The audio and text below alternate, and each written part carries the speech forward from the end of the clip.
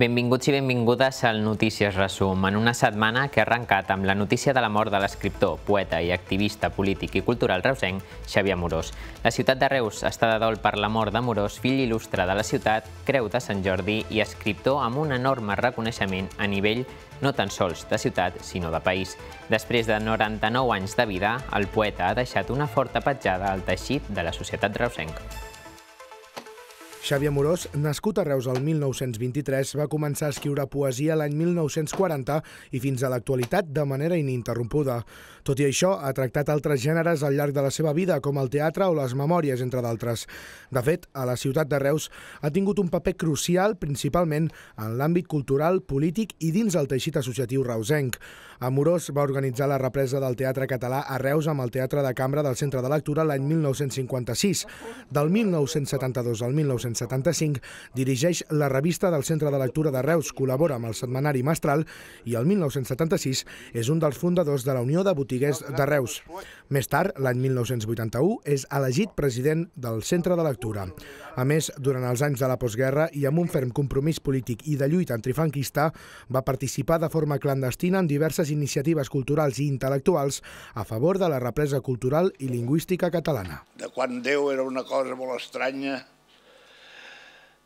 una mena d'ésser mitològic que estava sempre a punt de fulminar tots aquells que no volien adorar-lo.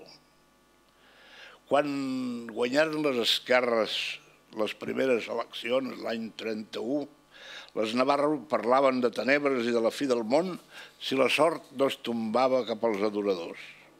Les Navarro tenien presents les profecies de la famosa Mare Ràfols, una monja nascuda a Vilafranca al primer pis d'una masia que jo vaig visitar amb els del col·legi, després de no jugar a futbol perquè plovia.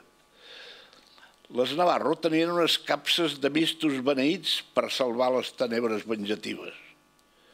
Llavors es parlava molt de religió i de fe trepitjada. Jo anava a missa cada festa. Vaig anar a les monges i després als padres. Vaig passar moltíssimes vegades al rosari. De l'Evangeli no em vaig sentir dir mai dues paraules que valguessin la pena. Anys després també va formar part de la candidatura al Senat per l'entesa de Josep Benet en les eleccions de 1979. Després se'l va proposar com un dels tres senadors del PSC-PSOE a la província de Tarragona, sent elegit a les eleccions generals espanyoles de 1986 i reelegit a les eleccions generals espanyoles també de l'any 1989 fins que es va jubilar el 1993. Per la seva trajectòria va ser reconegut l'any 2004 amb la Creu de Sant Jordi, el mateix any que va ser nomenat doctor honoris causa per la Universitat Universitat Rovira i Virgili. També té el títol de fill il·lustre de Reus des de l'any 1993 i com a fill adoptiu de Pradell de la Teixeta des de l'any 2013, municipi on va refugiar-se durant la Guerra Civil. Després de conèixer el seu traspàs, el consistori reusenc ha donat a conèixer que la ciutat commemorarà l'any Xavier Amorós el 2023, quan hagués celebrat el centenari del seu naixement. L'anunci de la celebració, de la qual el mateix Amorós n'era coneixedor, estava previst per d'aquí a uns pocs dies, però a causa de la seva mort s'ha hagut de precipitar. Reus commemorarà l'any Xavier Amorós el 2023, visiblement afectat. L'alcalde Carles Pellicer ha lamentat que no s'hagi pogut divulgar l'homenatge amb ell en vida i que sigui un anunci pòstum, si bé ha explicat que ell n'era coneixedor i que n'estava molt content i emocionat. La celebració de l'any Xavier Amorós tindrà com a epicentre la biblioteca de la ciutat, que du el seu nom. A la biblioteca, des d'avui i durant els pròxims dies, s'habilitarà un espai amb tota la seva obra exposada. També es projectaran unes converses enregistrades relativament recents moments amb Amorós. Tant l'alcalde com la vicealcaldessa Noemí Llaurador i el regidor de Cultura Daniel Regasens han volgut recordar Amorós llegint algun dels seus versos. I li vam anunciar i va estar content i certament eh, emocionat al dir-los que l'any 2023 Reus commemorarà l'any Xavier Amorós.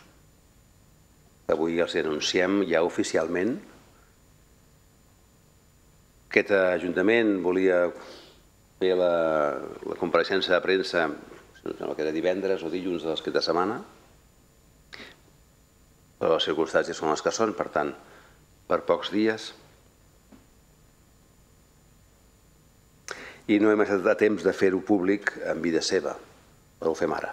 Però ell ja n'era coneixedor, com la seva família, de que l'any 2023 serà l'any Javier Morós. No hi havia res a dir. Totes les fruites eren ja els canyissos i els munts d'ametlla i d'avellana geien a les golfes, avui així com el vi, abundós entre la misèria, omplia els cups de l'entrada i del celler. Érem al novembre i plovia de valent. Això significava que l'any vinent també hi hauria les trumfes i les cebes necessàries.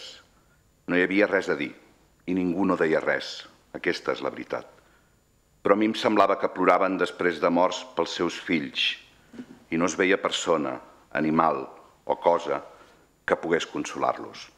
Diversos representants polítics de la ciutat han anat a fer entrega de la bandera de la ciutat a la família, com marca el protocol amb els fills il·lustres.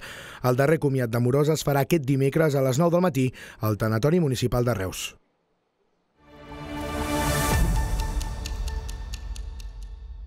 En plana de successos, la justícia ha paralitzat de forma cautelar el procés d'eutanàsia del conegut com a pistoler de Tarragona davant la petició de les víctimes dels tirotejos d'aturar-lo.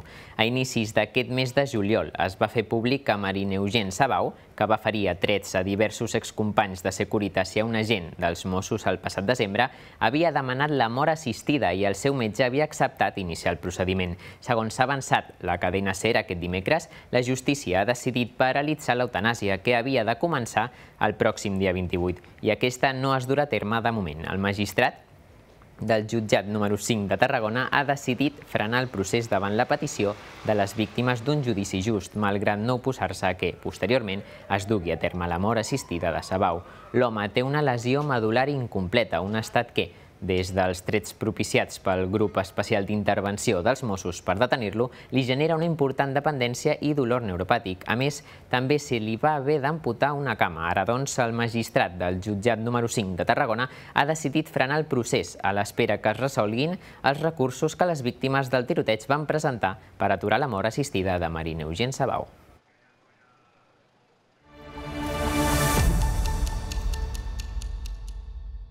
En plana local, aquesta setmana s'ha donat a conèixer que l'empresa pública Aigües de Reus ha estat víctima d'una estafa informàtica de més de 56.000 euros. Els fets van tenir lloc l'any 2019, quan més d'una vintena d'administracions públiques catalanes es van veure afectades per una organització criminal que es feia passar per diversos proveïdors. L'objectiu de rebre els pagaments a comptes bancaris que es desviaven els diners immediatament per evitar ser rastrejats. L'empresa municipal Aigües de Reus, juntament amb 24 administracions catalanes, ha patit una estafa informàtica per valor de més de 56.000 euros. Es tracta d'una macrocausa judicial que investiga una organització criminal d'àmbit internacional que es dedica precisament a estafar entitats públiques. Els estafadors es feien passar per proveïdors i enviaven un correu electrònic dient que s'havia canviat el compte al qual s'havia de pagar la prestació del servei. Un cop cobraven, els diners es transferien a diversos comptes perquè no es poguessin rastrejar els moviments.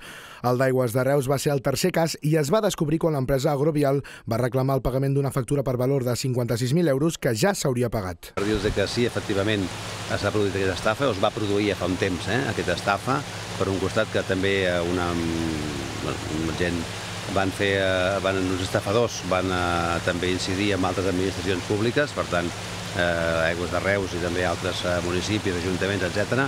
Eh, no els pogut dir res més en, en, el sentit que està judicialitzat i per tant el decidir que vam donar compte del que hi havia aquesta, que hi havia aquesta estafa, que va ser de seguida varen fer la denúncia i van poder doncs, eh, actuar judicialment i per tant doncs, eh, no li puc dir res més perquè és un tema judicialitzat però que hem pres totes les mesures de filtres que hi pugui haver com totes les administracions que han estat també estafades. Els fets es remunten al 2019 quan la Policia Nacional va detenir un dels membres d'aquest grup que portava 22 targetes bancàries a nom de 5 persones. Algunes portaven fins i tot la fotografia de la mateixa persona per obrir comptes bancaris. Entre les empreses més afectades hi ha el Servei Català de Trànsit, l'Ajuntament de Viladecans o el Consell Comarcal del Baix Ebre, amb més de mig milió d'euros estafats a cada entitat. També a Reus, les obres del pont del barri Gaudí, que haurien d'haver estat finalitzades abans d'iniciar-se l'estiu, es prorroguen dos mesos més i es té previst que finalitzin al setembre. Les obres del pont del barri Gaudí, que haurien d'haver estat enllestides abans de l'estiu, encara duraran dos mesos més. L'Ajuntament de Reus ha concedit una pròrroga a l'empresa adjudicatària dels treballs de millora del pont. Les obres consisteixen en la reforma com a tal del pont, encarregades a Construccions Vinaixa, i en la impermeabilització del sostre, ja que les filtracions d'aigua sempre hi han estat un problema. Aquesta impermeabilització, a càrrec de DIF, ja s'ha dut a terme, però segons s'indiquen des del consistori, han afectat el transcurs normal de les altres obres. El projecte, que va arrencar el passat mes de març contempla aspectes com ara l'execució d'una vorera per a vianants de 2,65 metres, d'un carril bici per a cada sentit o la instal·lació de panells d'acer per minvar el soroll dels vehicles. Fons municipals asseguren que s'està treballant per permetre l'entrada als vehicles tan aviat com sigui possible i, si pot ser, el trànsit de vehicles podria produir-se quan les obres estiguin en la fase final. De moment, però, continuaran les afectacions de trànsit a punts com ara el pont petit del barri Gaudí, el qual es troba regulat per un semàfor mòbil. I moment ara per fer una petita pausa per a la publicitat. Tornem de seguida amb els esports i la cultura. Fins ara.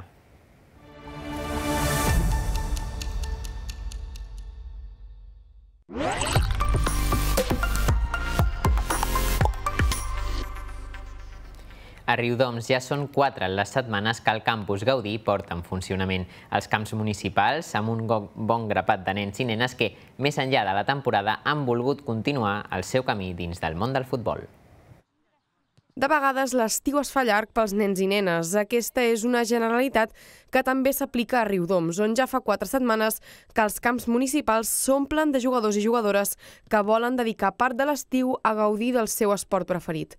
Enguany, i després de dos anys estranys, sembla que el volum d'inscrits ha tornat a la normalitat i les ganes i l'ambient són immillorables. El, el campus el plantegem sobretot a, a la tecnificació dels jugadors, tècnicament, tàcticament, i eh, que els nens s'ho passin bé, que és el més important. Tenen ganes, tenen ganes de no quedar-se a casa, de no passar l'estiu a casa, perquè els nens suposo que en temps de pandèmia van, van passar-ho bastant malament. I aquí doncs, venen a passar tot el matí i la majoria dels nens estan molt contents. Més enllà del futbol, al campus es treballen altres esports que permeten millorar les habilitats futbolístiques dels participants de maneres diverses. Clar, hem entrenat, hem fet partits i aquest campus de futbol fem partits de futbol sala com estem fent ara, partits a la, a la gespa. Eh, pues, eh, ens ho passem bé i estem fent futbol sala, depèn dels grups, anem canviant. Sí, faig futbol durant tot l'any i per no deixar de fer esport, que no és dolent, pues m'he apuntat aquí. El que més m'agrada és estar amb els amics, aquí fer família i practicar tots junts de l'esport que més ens agrada. Que m'agrada molt jugar a futbol i és el meu esport preferit. En bona part, els i les participants de la iniciativa formen part de les plantilles del Club Deportiu Riudoms durant tota la temporada. Així, l'estiu és una bona ocasió per anar més enllà de la tècnica del futbol i reforçar vincles entre companys i companyes al camp. A Castellvell, durant aquest mes de juliol, s'han encetat diversos campus d'estiu. Aquesta setmana hem visitat el de patinatge, el primer campus d'estiu impulsat pel Club Patina Castellvell, amb un projecte de tècnica bàsica que pretén fer valdre el patinatge artístic. A Castellvell, el patinatge artístic es continua practicant a l'estiu durant quatre setmanes. Des del 27 de juny fins al 22 de juliol està en marxa el campus d'estiu del Club Patina Castellvell, un grup de patinatge artístic que va néixer el passat mes d'octubre. Per tant, es tracta del primer casal d'estiu que enceta el club. L'objectiu del campus doncs, és que les nenes agafin el gustet a, a l'activitat, que tinguin ganes de continuar durant el curs a fer el patinatge artístic, sobretot que en gaudeixin. El campus ha comptat amb una quarantena de participants participants que treballen aspectes com ara la coordinació i flexibilitat amb exercicis i coreografies sobre patins. La participació ha pogut ser setmanal o durant tot el campus. Es tracta d'un campus de tècnica bàsica en patinatge artístic, però també compta amb un vessant lúdic, ja que s'impulsen excursions i es visita la piscina. Trobo que el campus és molt divertit, que aprenem molt, que ens ho passem bé, que entrenem i jo crec que està molt bé. Jo faig l'Àngel, l'avió i la carireta. Sí, m'encanten. Jo crec que ens ajuda um, a estar tots junts perquè abans no estàvem tots junts i hem, hem conegut nenes noves i crec que això pues, ens ajuda més a, a ser més, més socials i tot això. L'horari és de 8 del matí fins a les 2 del migdia. La primera hora és l'acollida dels participants del campus i durant la resta del matí es du a terme l'activitat pròpia del casal.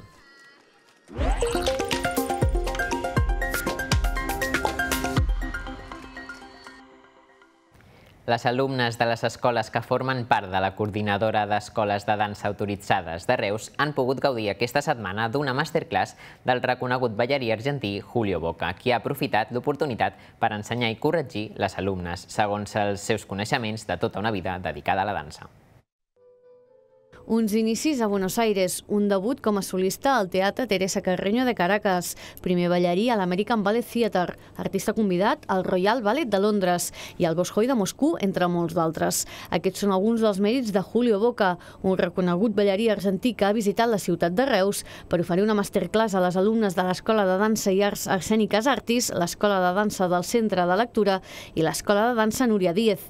La classe s'ha iniciat amb els exercicis de barra, com és habitual, i al llarg d'aquesta boca ha buscat aprofundir en les bases de la dansa clàssica, de la seva qualitat, bellesa i disciplina.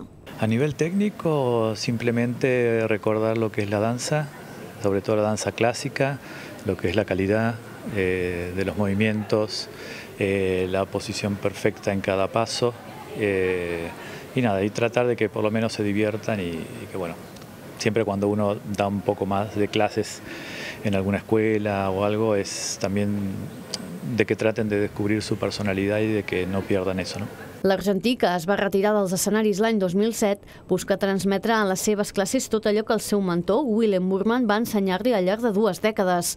Pel que fa a les ballarines, han rebut la iniciativa com una molt bona oportunitat que els permet mantenir el ritme ara, a l'estiu, quan no hi ha els entrenaments regulars. És molt bona idea poder fer això perquè segueixes com amb la teva rutina que segueixes tu a l'hivern i així no perds i a l'hivern pots tornar eh, a començar, siguis a una companyia petita, així vas a concursos i coses d'aquestes. Doncs em sembla una molt bona experiència, encara que sigui a l'estiu, que ens fa una mica de mandra perquè no estem seguint el ritme de l'any, però que és molt bona idea. Julio Boca s'ha mostrat feliç en la seva visita a Reus, on gairebé una vintena de ballarines han participat en la classe i en el col·loqui posterior. De cara a finals de la propera setmana, tant el Morell com el Moster continuen amb la festa major de Sant Abdó i Sant Senent. I pel que fa a tres propostes de caire musical, tindrem el Reus Blues Festival a Eli, en The Good Boys al racó de la Palma, el Festival Internacional de Cambrils, amb les actuacions d'artistes com ara Malikian i God Save the Queen, i el Castellvell Music Fest, que comptarà amb actuacions com ara el rap del Niño González. Amb aquest apunt posem el punt final al resum. Recordin que poden seguir tota l'actualitat a canalreustv.cat i a través de les nostres xarxes socials. Com sempre, gràcies per ser-hi i que tinguin un molt bon cap de setmana.